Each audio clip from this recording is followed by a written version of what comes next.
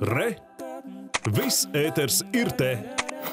Šogad sākusies reforma māsu profesijā. Tā ļauj māsām brīvāk pārvietoties darba tirgu, izglītība vairs nav sadrumstalota divpakāpju sistēmā un dažādās specialitātēs un ārstniecības metodēs.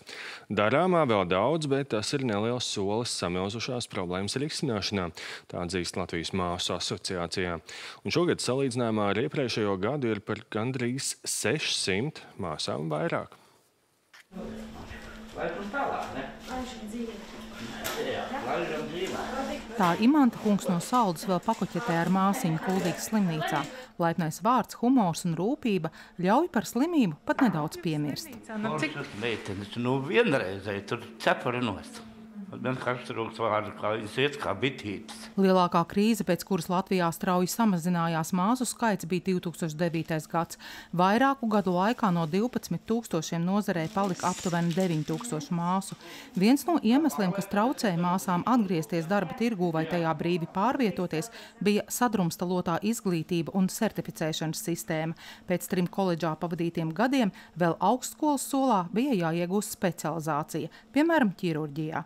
Ja vēlējās citu specialitāti, tad atkal augstskolas solis. Lai viņas varētu brīvi pārvietoties un darboties šajā šaurajā specializācijā, ir māsas, kuras ir iegūšas pat trīs diplomus augstākās izglītības diploms, bakalaura diploms. Māsu profesijas reforma ieviesus izmaiņas izglītībā, izvērtējot arī Eiropas Savienības valstu pieredzi. Tagad pēc četriem augstskolā pavadītiem gadiem būs iegūta vispārējās aprūpes māsas kvalifikācija, kas nebūs šauri specializējusies tikai vienā jomā.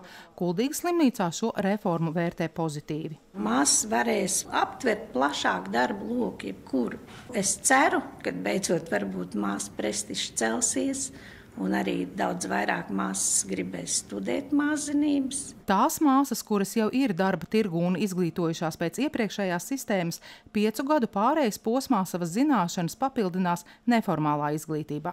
Caur šo tālāk izglītības programmu piedāvājumu, ko es pieminēju pārejas periodā 22. gada līdz 27. gadam, māsai pilnveidoties, sāk integrēties jaunās māsas, apguvuši jauno izglītības programmu, lai faktiski māsas varētu varētu spēt domāt vienādi. Vineta komisāri par māsu izmācījusies pirms nepilna gada.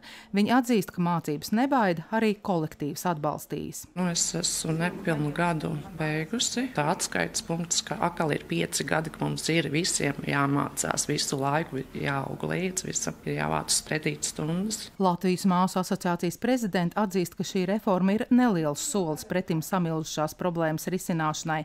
Pirmie absolventi pēc jaunās sistēmas būs jau jūnijā. Atvieglotāka māsām ir iespēja atgriezties profesijā pēc ilgāka pārtraukuma. Statistikas dati liecina, ka salīdzinot ar iepriekšējo gadu, šogad ir par teju 600 māsām vairāk.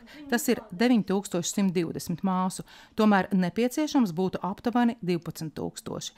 Tāpat valdībā joprojām notiek sarunas par algu paaugstināšanu un māsu profesijas prestižu celšanu. Ieva Benefeldalāns Pērševics Skrundas televīzija.